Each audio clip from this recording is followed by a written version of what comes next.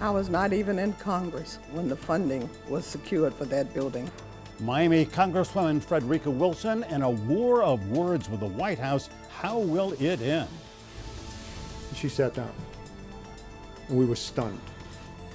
Stunned that she'd done it. Stinging criticism of Representative Wilson from Chief of Staff John Kelly, but he got his facts wrong, and a videotape proves it.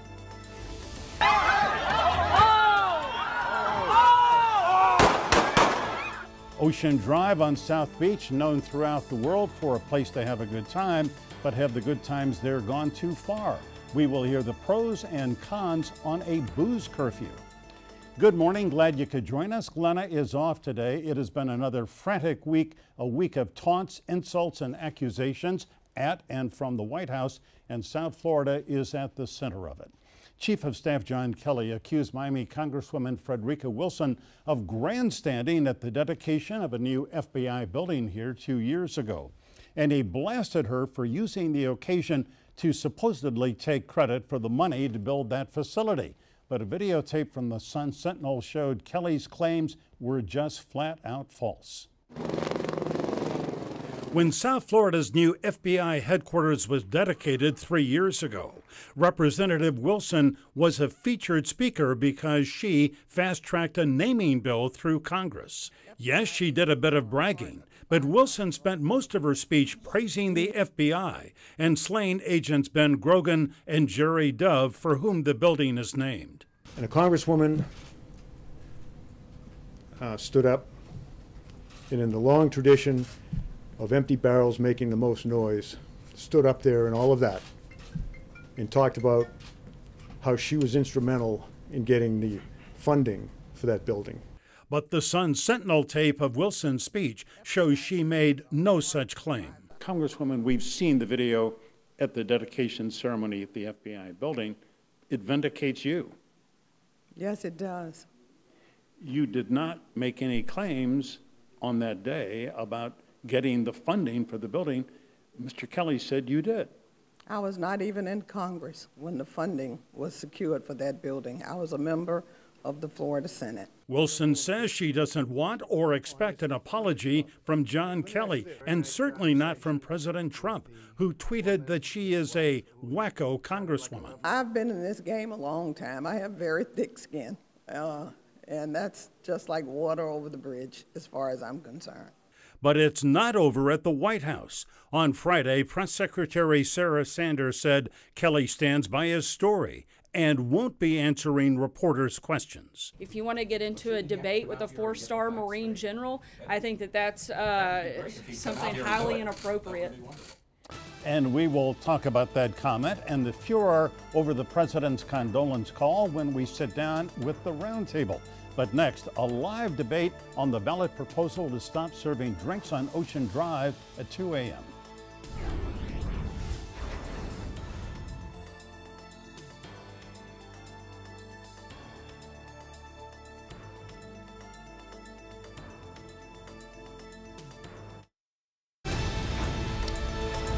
In a little more than two weeks, voters on Miami Beach are going to decide what kind of a place they want Ocean Drive to be.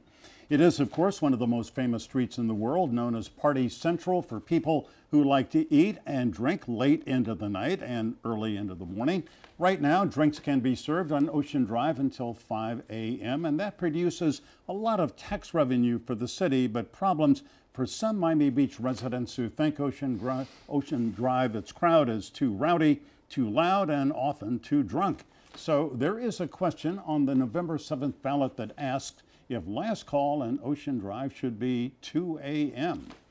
Ricky Arriola is a Miami Beach commissioner. He is the chief proponent of the 2 a.m. curfew on drinks being served on Ocean Drive. Josh Wallach is the Chief Operating Officer at Mango's Tropical Cafe, a mainstay on Ocean Drive. He also has served as Vice Chairman of the Miami Beach Chamber of Commerce. Mango's, as I say, has been a mainstay. I've enjoyed going to Mango's on occasion, but uh, Ricky Arriola, let me begin with you, if I may. What's the purpose of this ordinance? What would it accomplish? Well, first of all, good morning, Michael, and good morning, Josh. Uh, it's a pleasure to be here with you guys to talk about this subject. Look, the purpose of this uh, 2 a.m.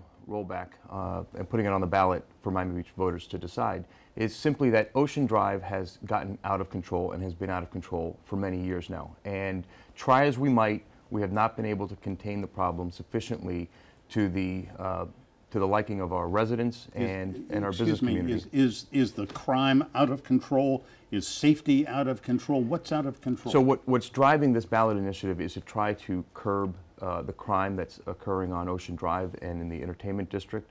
Uh, we have had a number of high-profile uh, violent crimes and shootings on Ocean Drive, uh, and until we get it contained, we're not going to rest, um, trying to, to get things under control. All right, and Josh Wallach, what, what, from your point of view, and you're speaking for the Ocean Drive Association, uh, why shouldn't this be passed? What would it not accomplish? Well, this uh, particular ballot initiative does nothing to address crime. All it does is it shuts down three businesses on Ocean Drive. Two of them are the most iconic and famous, not only in the city of Miami Beach, Yeah. but in the world. Clevelander The and Clevelander and Mango's, and one other club.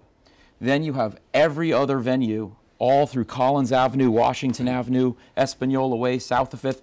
They all can stay open until 5 a.m. So how is this particular initiative, which only targets three businesses, going to address crime? Well, it, it targets, if I'm correct, I think, from 5th to 10th uh, streets on Ocean Drive, does it not? Yes, it does, Michael, but none of those businesses from 5th to 15th are open. 15th Street. They're open. None of them are open past 12. Only, these cafes and restaurants aren't open.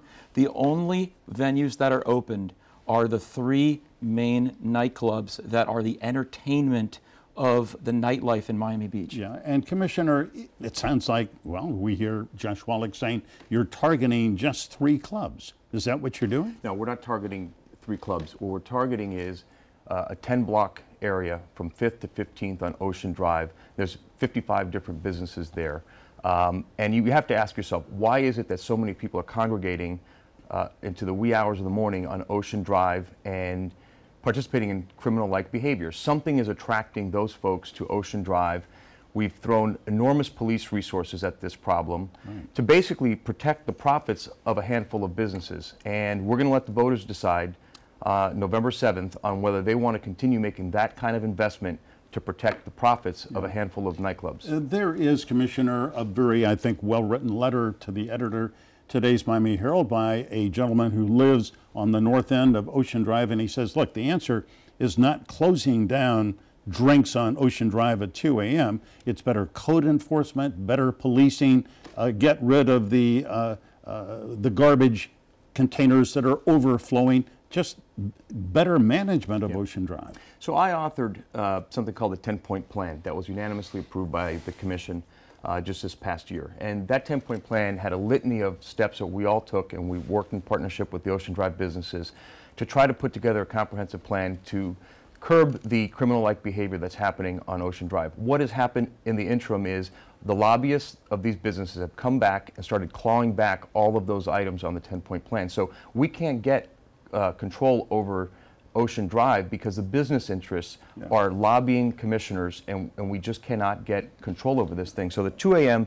is a way for the voters to decide, take it out of the hands of the commissioners because the commissioners get, get a tremendous amount of money from, from these businesses and let the voters decide on what they want that street to look All like. All right, Josh Wallach, there was, is this 10-point plan. Didn't the Ocean Drive Association get behind it and say, yes, we're going to work with the city? Not only did the Ocean Drive Association get behind it, but the 10 point plan had resident support. It had support of all these different areas of the city the businesses, the activists, the residents, the police. Everybody was involved. Commissioner Arriola was the author of the 10 point plan, and I actually mentioned to Commissioner Arriola about eight months ago that this was the single most important piece of legislation that had come down on South Beach since Tony Goldman was alive.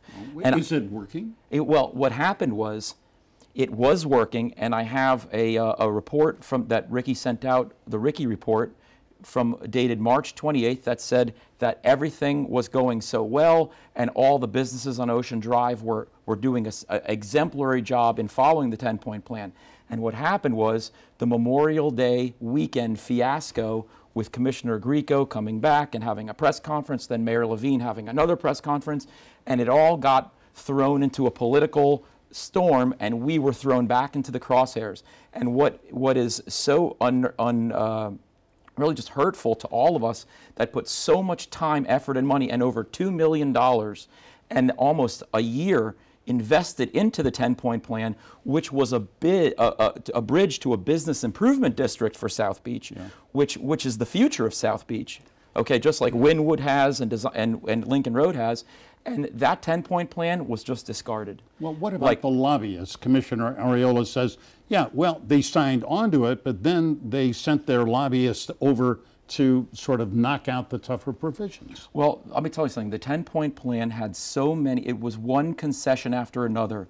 Commissioner Arriola. Yeah, but you signed onto it. We did, and so did, and so it was. It received not only a unit. It was. It received Mayor Levine's vote. It was a comprehensive plan that would cover. And you know, everything good takes time. When you have when you have a a, a, a, a football team that's losing, if you want to get to the Super Yeah, it Bowl, takes time to turn things around, It takes that's true. time to turn things around. We were well on our way, and then what happened was this Memorial Day fiasco. And, and now it became a gigantic political firestorm c- concerning Commissioner Grieco, concerning Mayor Levine, and concerning Commissioner Arriola, all getting in, and we were thrown right back into the crosshairs. And this 10 point plan was just thrown to the side like it never even existed. Commissioner, um, I, I think the fact of the matter is that uh, Local 10 News, other media here have covered ad nauseum many, many terrible incidents that have happened on or near Ocean Drive. I mean, there was this incident just uh, a few days ago where this woman and a partner, a friend, had been drinking. She got into a car, uh, hit a couple of other cars, then ran down a, a Miami Beach police officer and was shot to death. And I, I mean, what could be more awful than this incident? Now, is that sort of emblematic of the problems that you see? That's, that's exactly right, uh, Michael, is, is that uh, try as we might, uh, these problems continue. And Miami Beach voters are getting tired of it. Uh, and we've always said, even despite the 10 point plan, that a 2 a.m. rollback was still on the table and would always be on the table.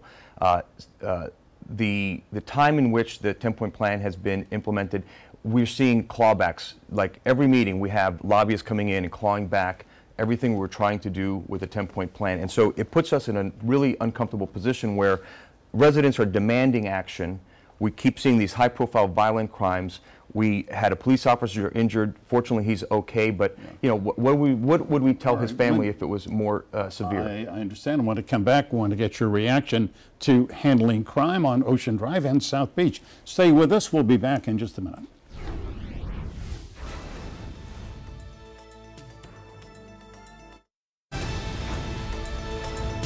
Welcome back. We are in the middle of a debate over Ocean Drive and whether booze should be stopped uh, serving booze there at 2 a.m., which is the proposal of Commissioner Ricky Arriola and supported by Mayor Phil Levine. He uh, was invited. He is not here this morning. And uh, Josh, uh, you heard the commissioner talk about the crime, and when you get this many people, there's going to be there's going to be some crime. Sure. But we have seen some really extraordinarily violent and awful crimes occur either on Ocean Drive or nearby. I mean, uh, you run a legitimate, fine business there. Yes. Uh, you don't encourage crime, but you know, you look. In fact, I wonder. You see the woman who was driving the car that hit the cop. Yes. Uh, whoever the bartender was who was serving her, don't you think at some point the bartender might have said, if the woman was pretty obviously in, inebriated, Right. that he should have stopped serving? Well, you know, that was the middle of the day, and actually, police statistics that we have show that most of the crime happening in Miami Beach is between 4 and 6 p.m.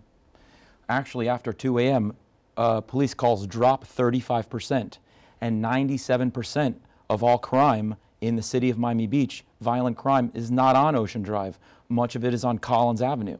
So there's shutting down Mango's and the Clevelander, which have the iconic status uh, uh, for, for our city of Prime 112 and Joe Stone Crabs and these other types of places, this is going to, to not even move the needle a tenth of 1% on crime. Community policing, uh, getting our off duties back. We haven't had off duty officers, Michael, since 2014 Why not?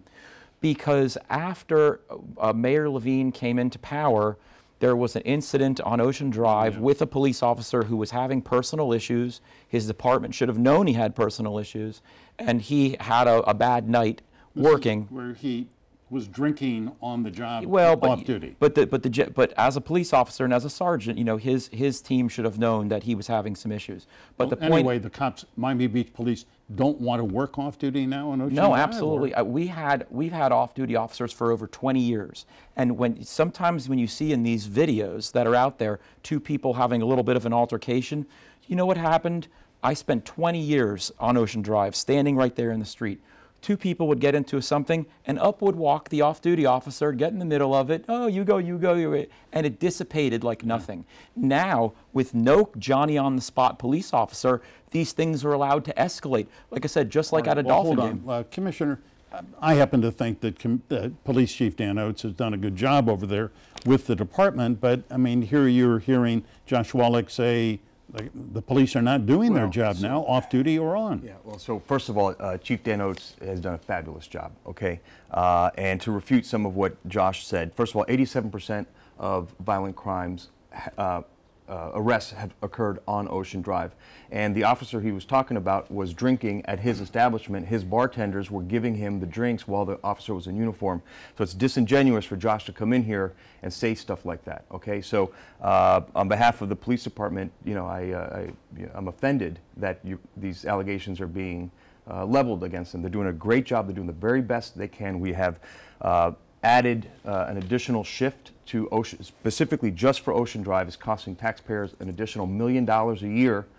Uh, I was an economics major in college. There's something called externalities. And an externality is when a third party, in this case society, bears the cost of the actions of an unrelated party. So imagine a, uh, a, a plant that pollutes into a river. The, com- the community, the society has to clean up the river while the plant enjoys all And- the profits. and you're saying and in the case of Drive the Mango's polluter? and other businesses, they make lots of money, and then society, the citizens of Miami Beach, have to clean up the mess, and right. we're, we're Josh, paying a heavy price for I, I mean, if, if you want to talk about disingenuous, okay, everything that Commissioner Arriola just said was uh, a, a spun up fallacy in order to make us look. We, we have been on the beach. My grandfather bought that building in 1955. My grandmother folded towels on Ocean Drive when there was nobody there. We've been there since the 50s. We, this is our city. We love the city very, very much. And we have been in every single era of this city, every single era. And uh, to, in order to be demonized for, for trying to do our jobs as small business people and Well, I job don't- creators. I, I, I, I- I heard the criticism. I don't think he's trying to demonize you. Uh, Commissioner, I, I do need to ask this question, which uh, Josh brought up earlier, and that is uh, bars south of Fifth Street and over on Washington and Collins, even if voters approve this uh, 2 a.m. curfew, they're going to be serving booze. their liquor stores selling uh, liquor uh, until the early morning hours. I mean, if somebody wants to drink outside or any place after 2 a.m., they could drink inside in a closed space on Ocean Drive or just simply go over to Collins or Washington. So are you not discriminating against these establishments? No, so Ocean Drive is unique, right? The configuration of Ocean Drive itself, uh, there's a critical mass of bars and restaurants, 55 of them, in fact, in that 10 block radius. Uh, it spills out into a park and into a street that's very popular for folks to come cruising along. Uh, in in, uh, in their cars, so it is very conducive to a the carnival-like atmosphere that's created on Ocean Drive by establishments that are open-air cabarets.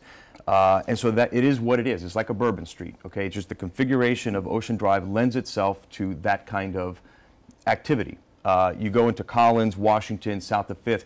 You, you just don't have that kind of street configuration. So we're not targeting specific businesses. We're, we're targeting a specific area of Miami Beach where the, Yeah. that is laden And- with and- crime. And just you, in about 20 seconds, you feel, in fact, that since these other places can serve booze until 5 a.m., that it's discriminatory. Th- They don't. They're closed by, their restaurants closed by 12 or 1 o'clock. The only places that are opened that are being targeted with this referendum are Mango's, the Clevelander, and Oceans. Ten- It's three businesses. If you think that closing these three entertainment venues for all of our tourists is going to deter crime, I have a bridge to sell you, okay? All right, well, I don't know who's buying, but we'll see what voters say on November 7th. Commissioner Arriola, thank you for coming in. Josh Wallach, Thank thank you you. very much. Say hello to your dad for me. Thank you very much. All right, up next, we're going to take it all to the roundtable.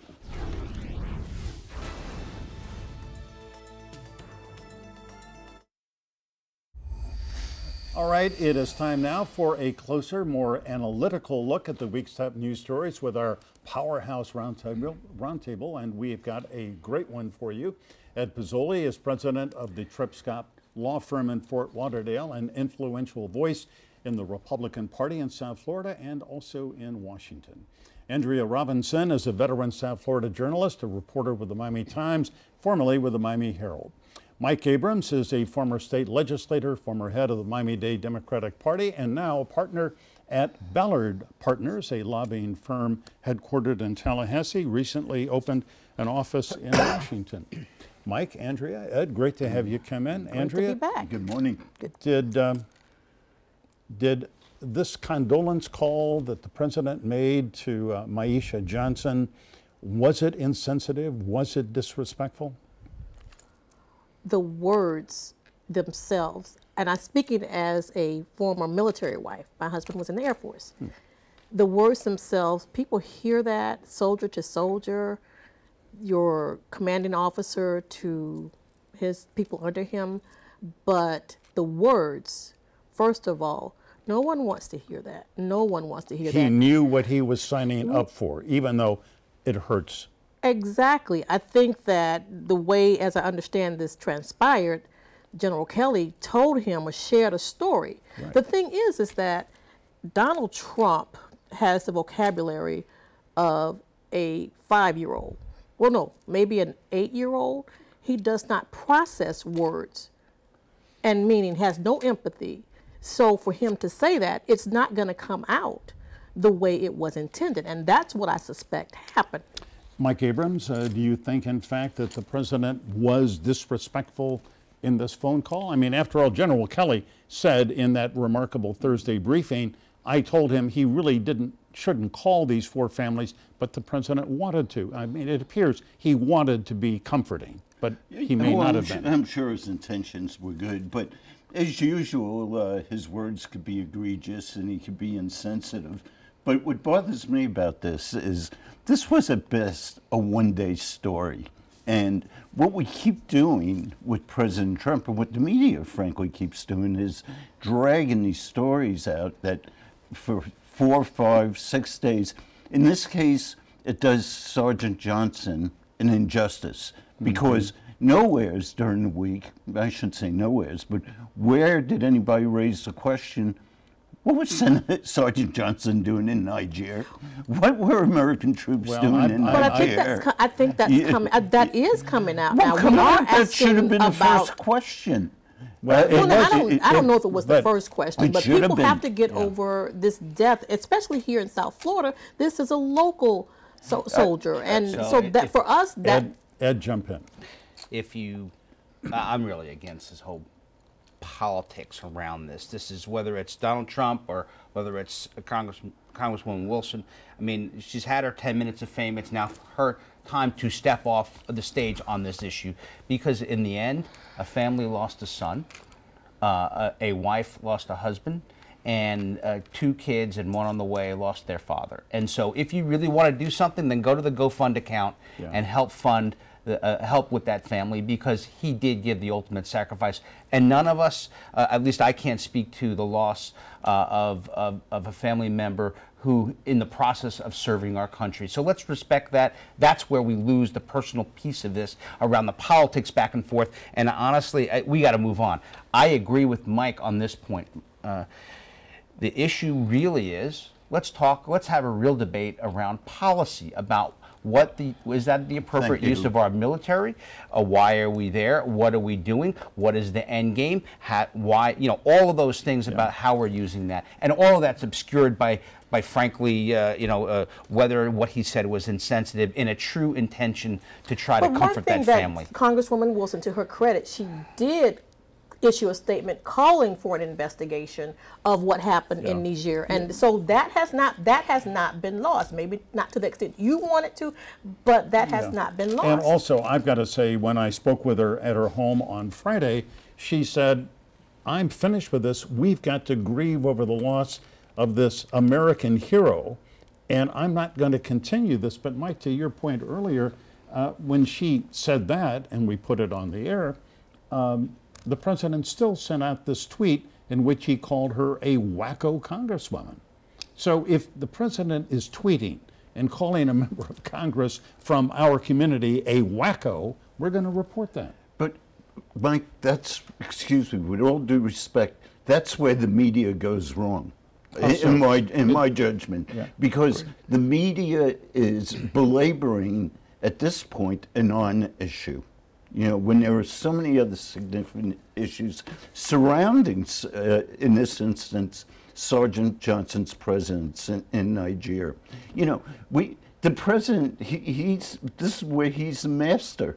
You know, where he, where he throws out these buzzwords and we all get distracted from really the important issues of the day. I'll give you another example. When we had the hurricane uh, and there were all these issues surrounding hurricane relief, all of a sudden he attacks the NFL players and everybody's talking about the NFL players. Well, he is You he, know, he is a master at that. But Ed Pozzuoli, I, I, I need to say part of the reason this story went on was, of course, this remarkable press conference that General John Kelly, Chief of Staff John Kelly, gave on Thursday, where he talked about the loss of his own son, heartbreaking, and how the bodies of dead soldiers are handled. Uh, I mean, it was just riveting stuff. But It puts a certain context to it, doesn't it? well, of course, it does. Then, however, he went on to say at the dedication of the FBI building in 2015 in Miramar that he heard uh, Congresswoman Wilson bragging about getting $20 million from President Obama.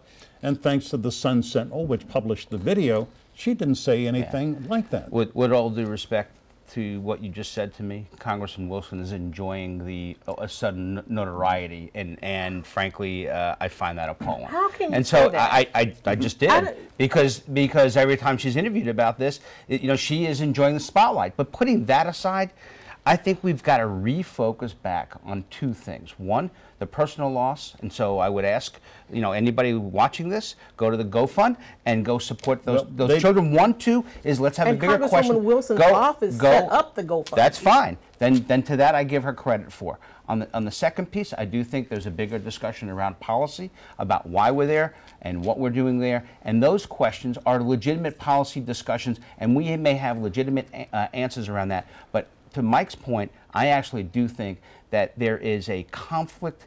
There's a need to report conflict at every turn, even though Well, the we issue in the media, is meaningless. as you know, we in the media thrive on conflict. Absolutely. It is our middle name, and I But sometimes when there are, there's plenty of conflict around, Mike. are we- There's plenty of conflict around that has real meat to the bone. Well, I mean, that's the issue. when, when you don't like the meat, that's when you want to No, no. focus on something no. else. No, I'm willing to. I'm right, willing to Ed, debate. Ed, uh, look, where- your, what the your- role is. Your points are salient, but I've got to say, come back to the fact that uh, uh, John Kelly simply didn't tell the truth about what happened. Oh, and the Herald today has an excellent editorial in which he says, just call her up and say, you know, on that You point, know what? It- Congresswoman, it- I don't am know. sorry. I don't know if he misspoke or not. What I would say is, He did. I, I would say He it this way: No one on this table has experienced what John Kelly has, and I stand with him w- relative to what he explained to the press, because it was about time someone actually gave a context about what happens And- and when a body what? comes back and a family has to deal with actual And grief. and he was the fine. one person he who should could have explain left that. that anecdote at that instead of creating this story that was easily proven to be false. He should have left it at that. He was the person who was supposed to have come into the White House to bring some humanity to Donald Trump. I don't think it- I don't think- it wasn't and- humanity, and it was when- organization. Whatever, well, you know, but- Discipline. But, the thing is, Discipline. His example given that story, which is a, a lie, we don't want to say that word, but a lie, it turns out he's now being seen in the same light would- as Donald I'm- Trump. I'm not gonna get let- baited I think into we, the we've, political we've kind of conversation around that. exhausted this up the to the point. I would like to point out that the great people of South Florida have already contributed nearly $700,000 to the mm-hmm. GoFundMe account for Myeshia Johnson, her two children, and the daughter Yes. who is going to be born, and more power to them. And also those pictures yesterday of hundreds of people lining Mm-hmm. the roadside, saluting, put their hands over their hearts as the hearse went by. I found that very, very moving. It was very touching. Very Well, there, touching there moment. have actually been a lot of touching events that have gone on this week. Um, you know, such as such as the one in Gainesville, where I think we saw a great reaction from the students and a great reaction from the citizens, and and, and in terms of um, Richard Spencer's uh, appearance and uh, Right. All right. Well, let's take a break. We're going to come back and talk about this white supremacist who tried to stir things up in Gainesville this week, and it didn't really work. Stay with us.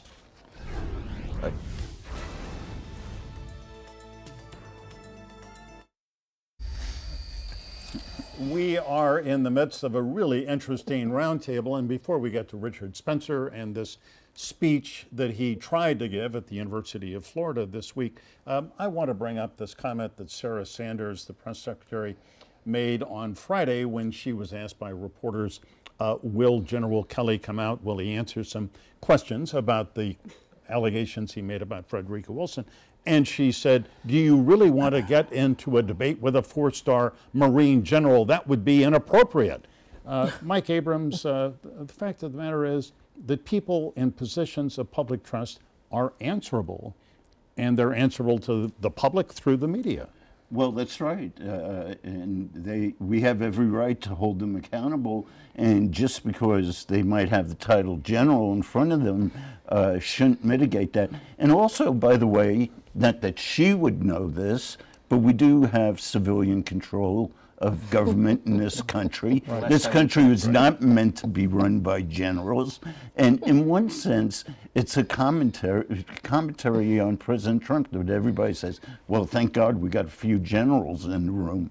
You know, I mean, generals have gotten us in trouble, by the way, sometimes also. So, Ex- No, but the Exactly. point- You know, But- But the But- point is not whether or not they're generals. The point is that John Kelly does bring a certain uh, discipline to the White Yes, House. of course. He's an Maybe. He also, Of course. He is, but also I mean, brings a certain. as reporters, though, how is someone going to tell us how to do our jobs or what the parameters in which we're Well, she supposed can say that, but reporters are not going to Nobody's gonna follow what her- she's saying, no. Her orders. That that is true. Who- I people also in political political you world even- say that all the time. Yeah, I you do, but, but does it make the it- press doesn't. we- are we especially- going to listen to especially you? with Republicans? No. No. you're always on attack. We, No, we we don't attack know how to everybody, obey, okay? Ed. No, exactly. That's the, that's We're the problem. You know, we, we are. Also, I want to point out this morning on This Week with uh, uh, uh, George Stephanopoulos, uh, Martha was doing this show this morning, General David Petraeus said, of course, he's got an obligation to answer questions. So, all right, well, let's look at this Richard Spencer speech at the University of Florida, uh, which was touted as this big moment. And uh, it turned out to be all wind up and no delivery, Ed. I mean, uh, I thought the students really handled themselves well. So there are three points I want to make. First uh, is Mike's point that again, this is uh, media swinging at the most fringe aspect of our society because no one on this panel would ever agree with anything Richard Spencer has to say. However, there are a couple of points I really do want to make. I'm really proud of the University of Florida. This is coming from a hurricane. All right, so I'm really proud. I'm also proud of the state government that prepared for this and handled it and basically made it a non-event. Okay, Because because I do support the one thing I do support is Spencer's right to speak under the First Amendment. As as despicable as what he says, mm-hmm. I do support his right to speak.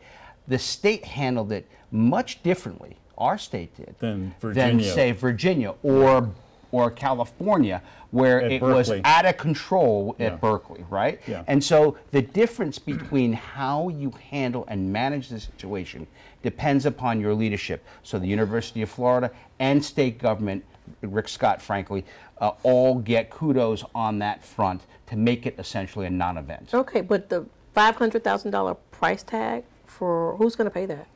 We are, and isn't And- that the price of democracy? I mean, I, I happen to agree entirely with Ed. This despicable guy has a First Amendment right, just as we do, to sit here and. But hey, I you see, I don't understand comment. because hate speech is not protected. To the, it, it should not be. Should no. I, I Well, let's ask the lawyer in the group here. No, I actually think that um, the fact that it makes our blood boil, right? The, the very fact that what somebody says makes our blood boil, whether it's on the left, right, or whatever it is, is precisely the purpose of the First Amendment. And it should Precisely be the also purpose. uh, the purpose of a university for a robust, robust discussion Agreed. of many points of view. Yeah, Exactly. Look, uh, we, I think we both cut our teeth in the 60s in the free speech movement on campuses. Yeah, I in the lived in Berkeley 60s. as a kid. And, and the great irony is Berkeley, Berkeley where- where is now denying speech is- certain right, free- denying. Look, I, I, I think any time you shine a light on on people like Spencer, uh, you know, people will make sensible judgments But about again, what he's saying. if oh, e- each time know. he or someone of his ilk comes and wants to do a speech, we're gonna call. We're gonna Okay. spend five hundred thousand. So let's go through this exercise. Richard Spencer, we agree. We, we don't like his speech, so we shouldn't let him speak. All right? Ann Coulter, you don't like what she says? We're not eh, spending I could take her. I could take her leave her. Coulter. But the bottom line is, no, no, hang on. That was one of the arguments being made about why she had to cancel her events. Do you, do you not let her speak? Let's talk about some of the left. Do you think that some of the people on the left, I mean, frankly, could, should should be denied the opportunity to speak? You know, communists, you know, socialists, those fascists, all those people, uh, should they be allowed know, to speak? so where do we draw the line? The answer is yes. The answer is yes, they should be allowed to That's speak. why you cannot go down that line and deny and call somebody's speech hate speech because then who decides? They would have said this Who 50 years ago about Martin Luther King being That's able correct. to speak at the University of that's right. Alabama. Or Malcolm They could X. have used the same Correct. excuses. But and, and those people, and, and that's precisely the reason why the First Amendment is So there. everybody in Florida, in Florida, because Spencer has gone on to Ohio, and the Ohio State has told him no, again. And I don't think he's going to be able to speak there. Anytime someone comes here, they're going to be allowed to speak, and we're going to be up. Well, footing the bill. courts, but the courts, I mean, when he tried to speak, uh, I think Spencer tried to speak uh, in Alabama, and the court simply said to uh, whatever school that was, I forget, uh, you've got to allow him to speak. Right. Florida, the University of Florida, state of Florida, would have been liable to a big judgment if he couldn't have. Before we run out of time, I have to ask uh, all of you, I thought George W. Bush gave a remarkable speech late this week in which he took, not by name, but he said the great traditions of liberty, democracy, uh, civility in this country are being trampled. He didn't say the word, the name, Donald Trump, but it was pretty clear who he was talking about. And- You and- hear that speech? Oh yeah, I did, and and I was grateful to, to President Bush for for it, and I and I think. Uh, you know, ever since he left the presidency, uh, he's you know he's acted with class and dignity, and and he's allowed his two successors to operate without the shadow of his. Well, he was quiet basically for eight right, years. That's right. But uh, but but the point is that uh, the level of civil discourse or the decline of civil discourse is one of the central issues in this country. We have to take coarseness out of out of our daily language, Well, I think we could agree. or try. Uh, uh, we could disagree without being disagreeable. We have to have legitimate debates Right. About about policy. I will say this: I was surprised that President Bush came out and did it. Oh, we agree Yeah, on something. No, I was totally I- surprised, and and what he said. Uh, uh, uh, the exact words I listened to the speech were fine. However, the timing of the speech, and given the history that he has been silent for uh, eight or nine years, and given the, the reference he paid to both President Obama and up till that point President Trump, I, th- I was surprised and frankly a little disappointed because But I, I, I- look I- he no, has a right I to speak. I'm gonna that jump right to in. He came at the We- we right could- time with the right message. All right, hold on. That's the last word. Sorry, we are out of time. Good for you, Andrea. All right, thank, thank you, Mike. Thank you, Ed. Thanks, Andrea. Still to come, my personal perspective about the death of Sergeant LaDavid Johnson and that resulting furor.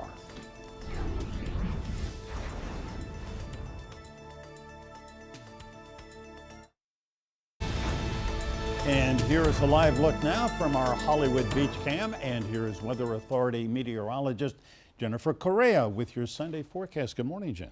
Uh, good morning or good afternoon, Michael. It's already the afternoon hours, but very early, and it is still so breezy out there. Uh, so if you do want to head out to the beach, notice how everybody's on the sand. That's a good idea. Those rips are high and dangerous, so stay away from the water. Be safe out there. The winds are right now at 20 miles per hour. Miami, out of the east and southeast, all across South Florida. So basically 15 to 20 mile per hour wind speeds with gusts higher than that, uh, almost 30 mile per hour wind gusts in Marathon, up to 25 miles per hour across Miami-Dade County. Now temperatures are still warming up. We're hitting the mid to upper 80s all across the area right now.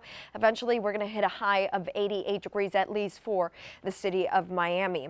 A few isolated showers cannot be ruled out, but for the most part, it is pretty quiet on the radar. Small craft advisory does remain in effect for parts of the Florida Straits, and then that high risk of rip currents will also remain in effect through the rest of today. Seas anywhere between three to five feet, occasionally up to six feet, uh, but definitely stay safe out there. Those winds are going to start to lighten up by tomorrow. It's going to become warm and humid. Highs getting close to 90 degrees with a chance for an afternoon thunderstorm because of the cold front coming our way. Now, the cold front doesn't come here over us until late Tuesday uh, between the late afternoon and evening hours. When it does, it's going to bring a line of showers and cloud cover for the second half of Tuesday. The front clears out early Wednesday morning, and then we're in for less humid conditions. In fact, temperatures dropping into the 60s Wednesday night into Thursday morning. Michael? Jen, thanks. All right, before we leave you this morning, a personal perspective about the death of Sergeant LaDavid Johnson. He is an American hero. His death is a tragic loss for his family and for our community. So many people honored him yesterday, standing by the roadside, saluting, putting their hands over their hearts as the hearse passed by and waving American flags. Black, white, veterans, regular folks who wanted to pay tribute to a brave soldier. It was a moving and gratifying sight. Even more moving was to see his widow, Myeshia, lean down, kiss the casket before it was lowered into the ground. Sergeant Johnson was remembered at the services as a good man, dedicated to his family, a guy who wanted to improve himself and provide for his family. That's why he joined the Army. It's a shame that his life and his service was overshadowed this week by the furor over the president's phone call to his wife. That call, in which Mr. Trump said David knew what he was signing up for, even though it still hurts, there's a truth to that. But it was not the time or place to say it. Congresswoman Wilson heard that comment because the president's call was on speakerphone. Wilson says Myeshia Johnson was very upset by what the president said, that he was disrespectful, didn't even call LaDavid by his name, just called him your guy. LaDavid's aunt backed up her version of that story, and Representative Wilson was livid. She went public with it, as was her right. She was not secretly listening in, as the president said. She's an old friend of the Johnson family, and LaDavid was a product of her 5,000 Role Models of Excellence program. John Kelly accused Wilson of violating a sacred trust by talking about the president's call. That's nonsense. He was also wrong when he said that she took credit in a speech for getting money to build the new FBI headquarters in Miramar. She did not say such a thing. General Kelly, an honorable man, should call up Representative Wilson and apologize. But that's not going to happen, of course. And as for the president, he never apologizes to anyone. He has taken to calling Wilson a wacko congressman. Look, she is idiosyncratic in those sparkly hats she wears, but she has served our community for a long time and served well as a teacher, a principal, school board member, state legislator, now as a member of Congress. Frederica Wilson is no wacko, and it is beneath the office of the president to use that kind of language. We thank her for her service and for standing up for Sergeant Johnson and his family. That's my perspective. Have a great day. Remember, as always, stay informed, get involved. See you next Sunday.